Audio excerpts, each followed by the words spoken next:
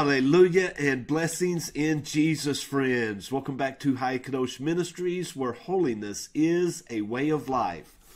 Jesus is truly King of Kings and Lord of Lords, and the Holy Bible is our only standard and authority for truth.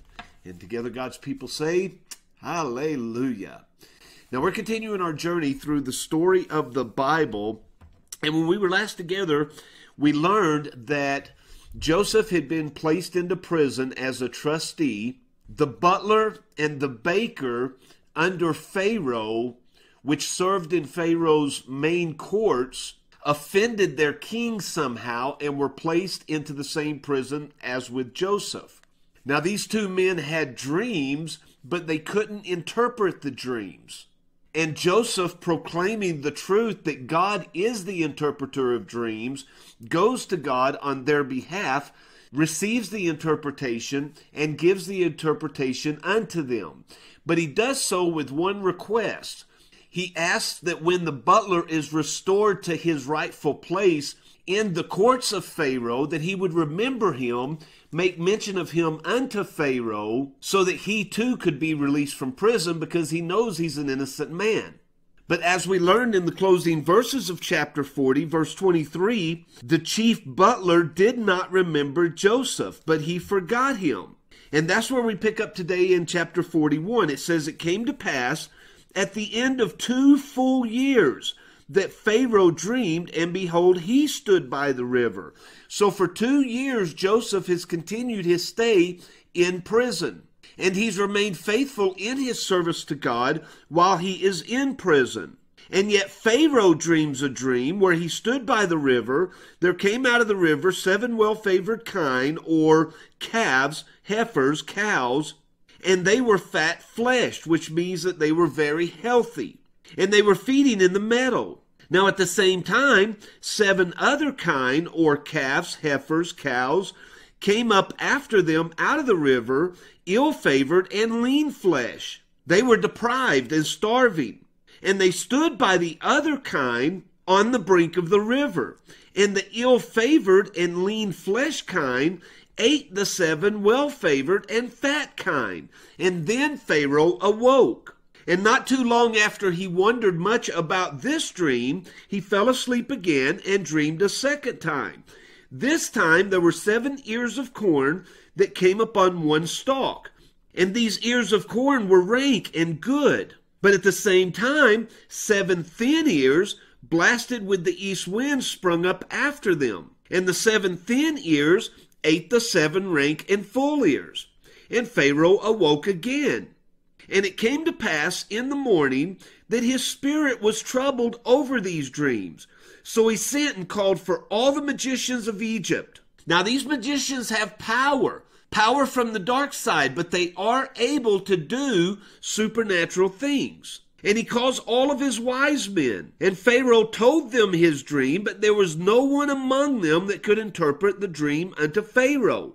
But then the chief butler spoke up and said, Pharaoh, I remember my mistake. For when you were wroth with your servants, both I and the baker, and you put us in prison, we had a dream one night, both I and the baker, and we dreamed each man according to the interpretation of his dream.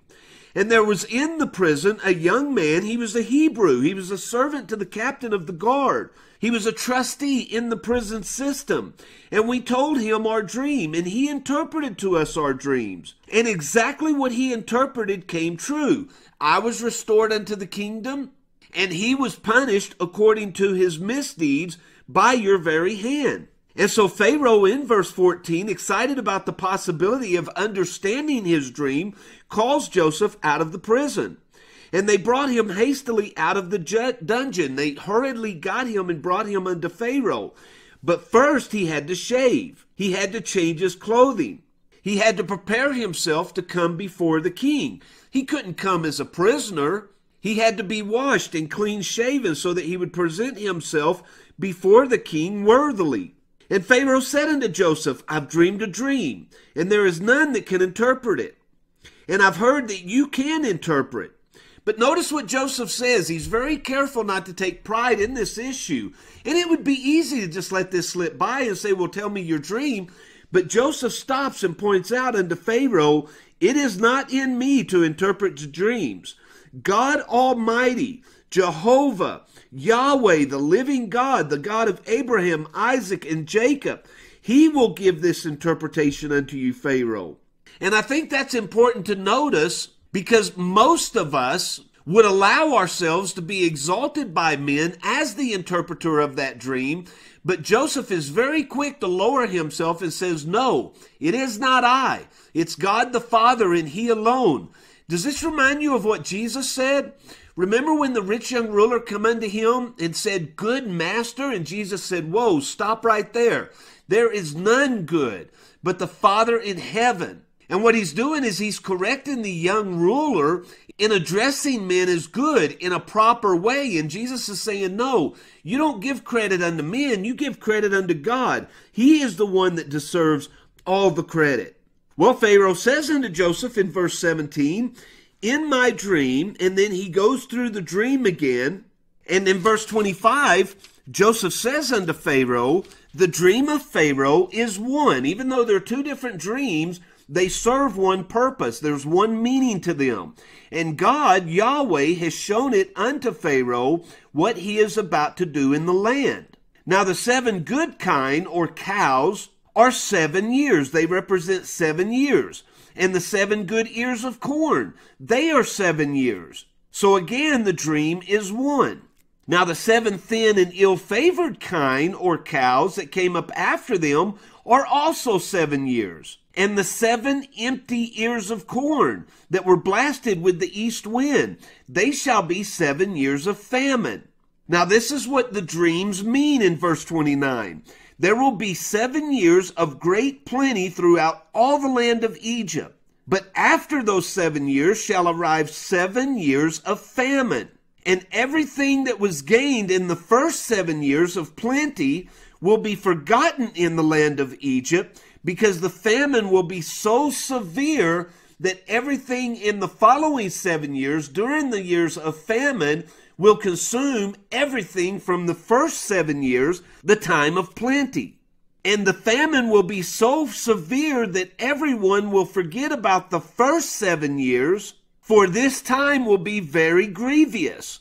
And the reason that you had the same dream twice is to show that this has been established by Yahweh, and God will shortly bring it to pass. Now, it's important to note here Pharaoh is the king of Egypt. And even though Egypt was a pagan nation, they were pagan by choice because Yahweh's name was known throughout the whole earth. But men decided to serve their own gods, create their own gods, rather than serve the living God Yahweh.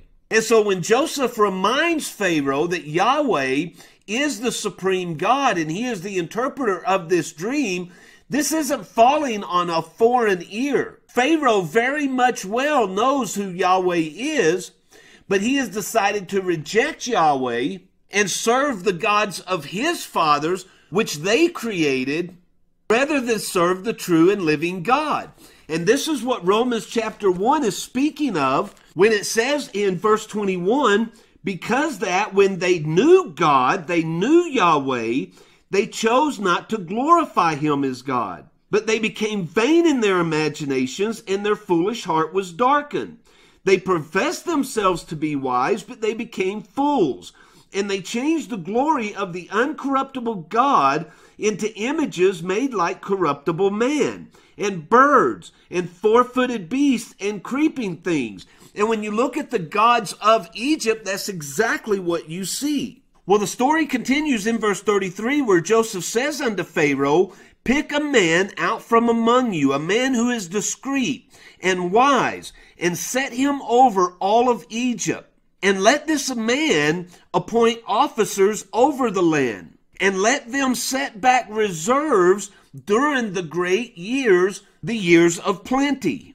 And let these reserves be kept during the time of the famine so that the land perishes not. And in verse 37 it says, The thing was good in the eyes of Pharaoh, and in the eyes of all of his servants. This was wise advice.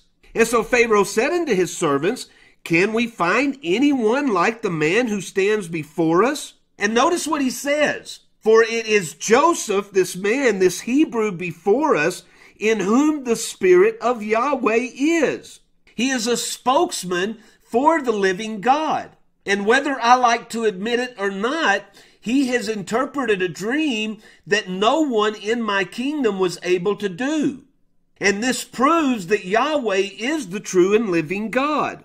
And so Pharaoh says unto Joseph in verse 39, There is no one in my kingdom as discreet and wise as you. So it will be you, Joseph, that will be over my house. And according unto your word shall all my people be ruled. No one in the kingdom will be greater than you, only I. And Pharaoh in verse 42, to signify this decree, took off his own ring from his own hand and placed it upon Joseph's hand. And he clothed Joseph in fine linen, and he put a gold chain about his neck.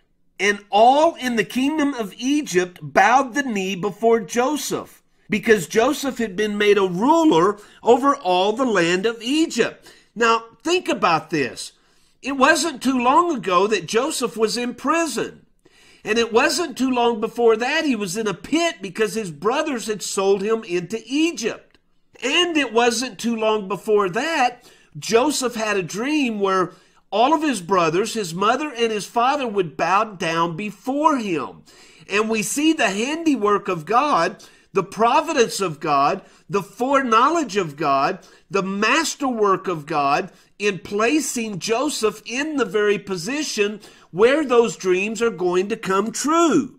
And it doesn't matter how much man tries to intervene to stop the hand of God, his hand will not be stayed. His ultimate purpose will be fulfilled. For let God be true and every man a liar, amen. Now, in the same way, you see this masterwork being worked out and fulfilled through the life of Joseph, think about the Lord Jesus.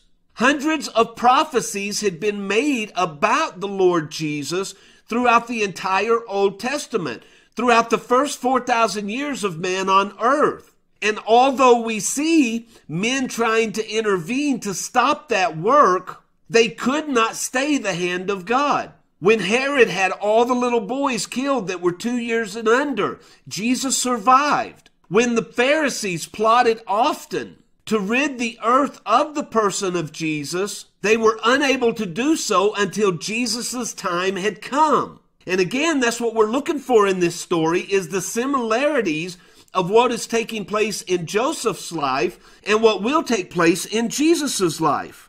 Well, in verse 45, we're told that Joseph is given a new name, an Egyptian name, which means treasury of the glorious rest, and he's given an Egyptian wife. In verse 36, it says Joseph was 30 years old when Joseph began his rule, when he began his reign, when he began the process which will eventually lead to his ultimate exaltation.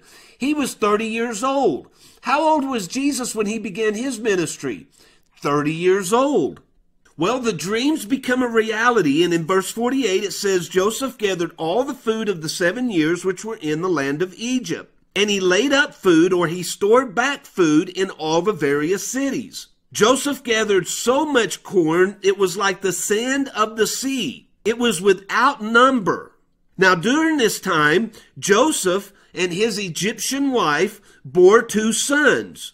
The first son he named Manasseh, which means causing to forget. God has caused me to forget the years of my slavery and my imprisonment. And the second he named Ephraim, which means doubly blessed. For God has caused me to be doubly blessed in the land of Egypt. Now, another thing to point out here is that Jesus also came from Egypt. Do you remember in Matthew chapter 1 where we're told Joseph is fleeing the hand of Herod? Because Herod is, is angry that he has been betrayed by the wise men. And in verse 13, I'm sorry, it's actually chapter 2, verse 13, it says, When they were departed, the wise men, the angel of the Lord appeared to Joseph in a dream, saying, Arise, take the young child and his mother and flee into Egypt and stay there until I bring thee word, for Herod is going to seek the young child to destroy him. Well, back to our story in chapter 41 of Genesis, the seven good years come and go. And in verse 54, we see the seven years of famine began. And when all the land of Egypt in verse 55 was famished, was suffering, the people cried to Pharaoh for bread, and Pharaoh said unto all the Egyptians, Go to Joseph. What are you coming to me for? Go to Joseph. He is the ruler of the land that I've set in place over all of these things. And whatever he says unto you, that will you do.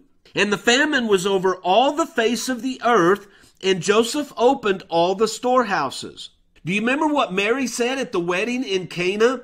When she was informing the servants to listen to Jesus, she said, Whatsoever he saith, you do. Well, the famine was over all the face of the earth, and Joseph opened up all the storehouses, and he sold unto the Egyptians. And the famine waxed very sore in the land of Egypt. And all countries round about came into Egypt unto Joseph to buy corn. And obviously, if all the countries are coming to Egypt, Joseph's brother, father, and mother aren't too very far away from Egypt. So when the famine hits them, they too will come to Joseph in order to survive the seven years of famine. And that's where we'll pick up our next time together, friends, in chapter 42.